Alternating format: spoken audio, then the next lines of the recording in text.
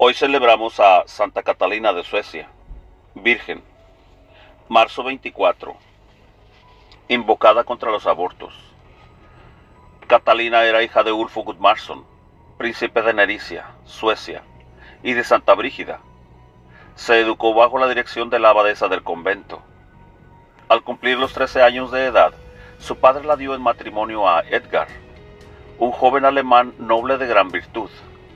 Sin embargo, con sus oraciones y palabras, la santa persuadió a su esposo a unírsele tomando un voto mutuo de castidad perpetua, renunciando así sus legítimos derechos matrimoniales por amor a Dios.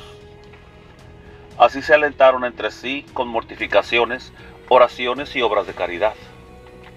Al morir su padre, Santa Catalina se unió a su madre, Santa Brígida, en un peregrinaje a Roma en el año 1349, impulsadas por la devoción a la pasión de Cristo y a las reliquias de los mártires romanos.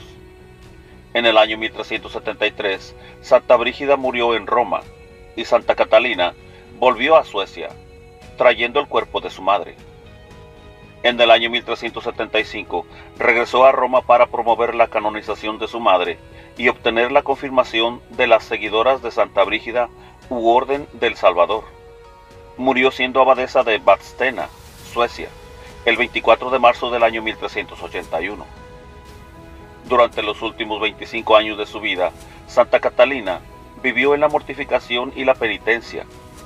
Cada día purificaba su alma del pecado con el sacramento de la penitencia.